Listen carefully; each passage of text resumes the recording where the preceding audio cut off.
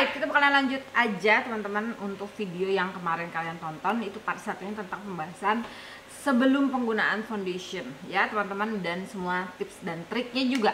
Nah di video kali ini lanjut di video kedua. Assalamualaikum warahmatullahi wabarakatuh. Welcome back to my channel and welcome to this new video.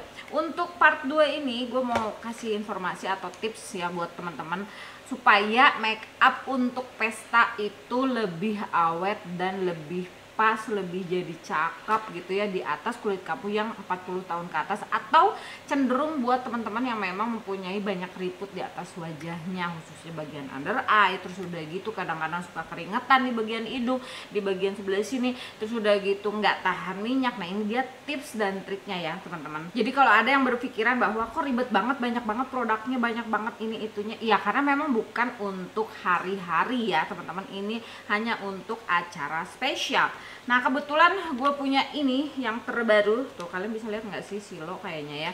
Ini yang dari Lux Crime teman-teman. Dia ngeluarin powder yang baru dan ini adalah yang uh, Tway Cake Blur and Cover. Setelah pakai foundation semuanya selesai. Buat teman-teman yang suka bermasalah dengan masalah hidung kalian setelah di foundationin itu selalu nggak nempel segala macam segala macam ya. Ini caranya. Jadi kalian ambil compact powder, tway cake atau apa pun itulah ya. Ini yang untuk apa ya? Bukan uh, pokoknya ada dua lah intinya ya. Udah gitu aja gua nggak bisa kasih tahu dulu ke kalian nanti mungkin setelah khusus videonya ini ya. Nah, jadi tinggal di tap aja, teman-teman. Hanya di bagian hidung ya. Jangan terlalu banyak. Ini warnanya buttercream ya, teman-teman. Takutnya nanti ada yang tanya dan takutnya kelewat gitu. Tapi biasanya setelah gue tulis walaupun gue omongin juga tetap gue nggak tahu deh. Tetap ditanya gitu. Kenapa kalian nggak pernah mau nonton video itu? Lengkap gitu ya supaya nggak nanya kan. Oke nih di tab segini aja. Right? Udah. Jangan terlalu banyak ya teman-teman ya. Jangan terlalu banyak secukupnya aja. Tab supaya foundation di bawahnya itu benar-benar ngeset.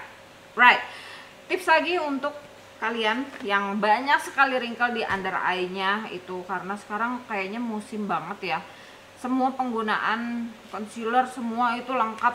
Ya memang nggak ada masalah cuman kadang-kadang e, buat beberapa orang di luar sana ya teman-teman untuk penggunaan dari segala macam itu itu bikin muka kalian itu berat apalagi untuk yang banyak sekali wrinkle apalagi untuk yang umurnya 40 50 60 tahun ke atas gitu kan. Dipakainya tebel ya makin berat gitu ya. Kecuali mungkin uh, muaknya atau kamu sendiri mempunyai produk yang dikhususkan untuk uh, kulit kamu gitu ya. Karena kan nggak semua kayaknya bisa paham kecuali yang kemarin di acara nikahan adik gue itu bagus banget serius make upnya jadi halus banget ya.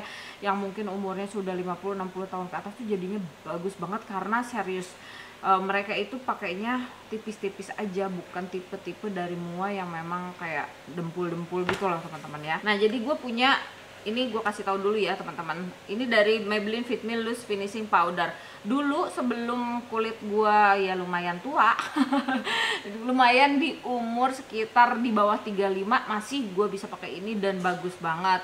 Terus ada produk dari Laura Mercier itu bagus banget di atas kulit wajah gue bener-bener nahan minyak banget gitu ya. Sama how saat ini tuh nggak bisa sama sekali tidak bisa because it's too dry gitu ya dia itu bikin kulit gue kering. Jadi bukan nahan minyak tapi malah emphasize semua texture uh, wrinkle uh, fine lines yang ada di atas kulit wajah gue karena gue kan sudah 40 tahun ke atas ya. Luckily ya teman-teman gue beruntung banget bisa nyoba dan Indonesia punya makeover.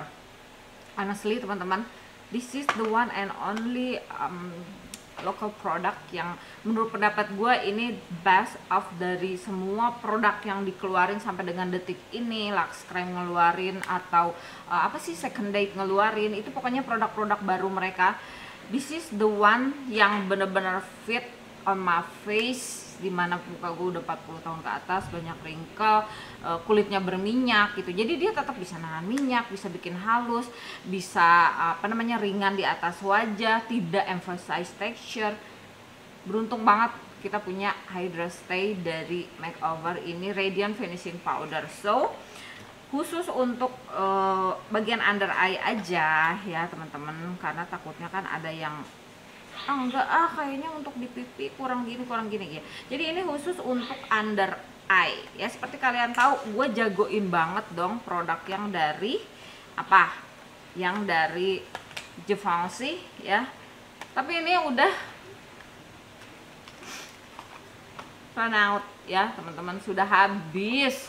Jadi belum beli lagi tapi makanya itu bikin gue galau ya. Cuma ya luckily I have this one ya jadi biasanya gue ambil ke dalam sininya. Ini di dalam produknya itu gue buka aja karena agak susah ya teman-teman. Ini yang what I hate from this packaging ya.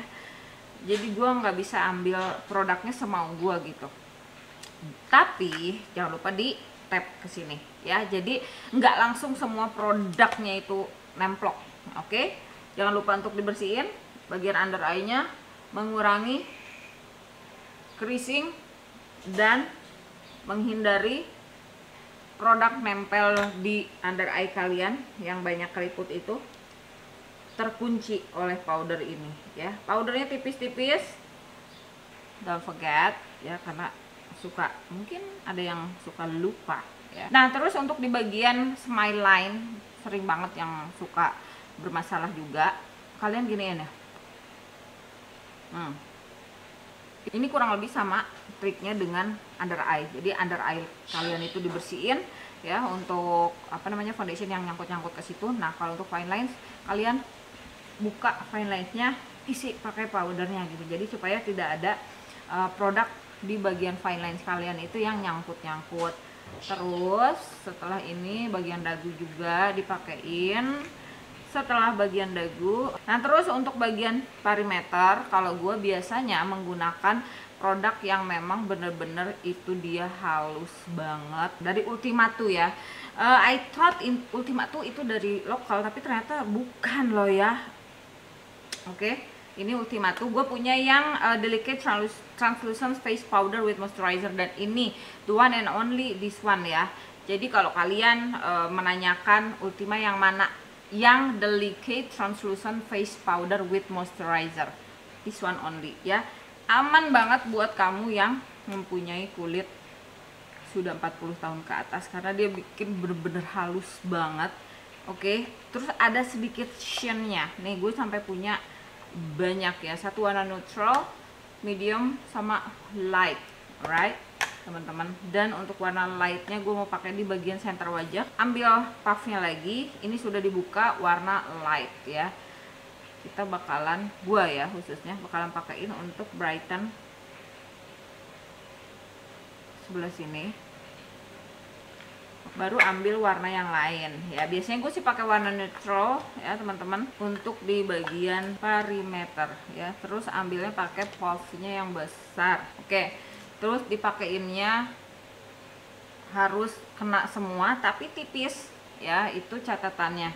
Kena semua powdernya loose powdernya tapi tipis gitu. Bisa tapi tipis oke? Jangan lupa bagian kuping karena kalau biasanya untuk uh, event ya atau acara-acara itu kalian bener-bener kayak harus detail ya. Jadi belakang uh, dada pundak apa pun yang terlihat itu harus terkena make up. Kenapa? Karena kalian harus memastikan warnanya itu sama ya. Well oke okay. dan ini dari dekatnya. Mudah-mudahan kalian bisa lihat bisa jelas banget sehalus ini sebagus ini secantik ini. Ya oke okay, teman-teman. Udah? Bisa? Secakap ini tuh bagian under eye gua oke okay, powderingnya udah selesai. Ya ini uh, gua lumayan agak lengkapin aja sedikit ya. Teman-teman udah pakai alis pakai blush pakai kontur. Dan kalau misalkan kalian penasaran untuk penggunaan alisnya kalian cek cek di video part 3 ya video terakhir. Nah ini yang terpenting. Setelah kalian pakai powder dan biasanya sih kalau gue bisa mendapatkan setting spray yang benar-benar tepat dan pas banget ya teman-teman. Karena tidak semua setting spray itu bisa digunakan dan dicocok untuk penggunaan di atas kulit wajah kamu. Contohnya misalkan gue ngasih tahu ke kalian segala macam dari video-video yang series ini part 1 part 2 gitu ya. Uh, itu gue pakai segala macam primer pakai triknya juga terus pemilihan foundationnya terus kalian pilih sesuatu yang glowy atau khususnya di kasus ini adalah produk dari Studio Tropic Dream Setter yang glowy. Jadi ada Dream Setter itu yang ini ya teman-teman Dream Setter yang warnanya ungu itu bagus banget. Jadi kalau kalian punya masalah dengan eh, wajah kalian atau penggunaan dari foundation kalian itu crack ya karena e, mungkin semua yang make upin kalian berusaha untuk bikin uh, lumayan awet gitu kan terus udah gitu nahan minyak segala macam. Itu langsung ambil aja ya kalau misalkan istilahnya mereka tidak menyediakan setting spray yang gue maksud gitu.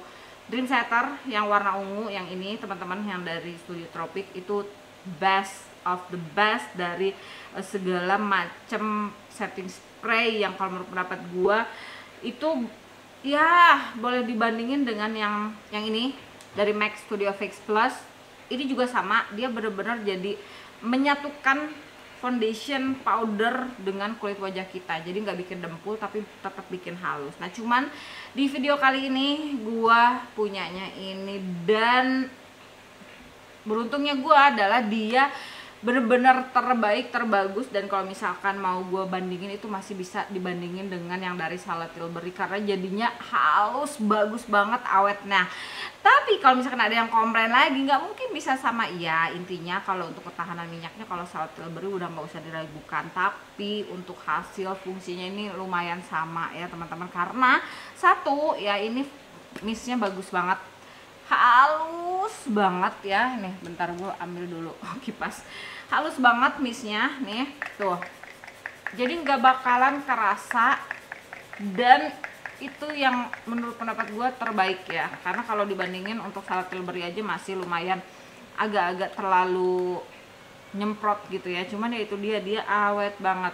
Nah ini setelah penggunaan powder kalian pakai setting spray dan langsung di keringin ya. Cuman tadi gua nggak bisa kasih lihat ke kalian setelah penggunaan powdernya. Terus nanti lanjut ke bagian berikutnya. Biasanya kalau gua penggunaan dari blush kontur segala macam ya teman-teman. Dan ini gue semprot dulu ya. Dan kita bakalan lanjut ke part berikutnya yaitu khusus untuk cara penggunaan alis. Dan nanti itu bakalan jadi video terakhir. Ya oke teman-teman. Jadi video part 2 nya sampai sini dulu. Ya kita ketemu lagi di video bermanfaat lainnya. I'll see you guys in the next video. Don't forget to like comment and subscribe to this channel.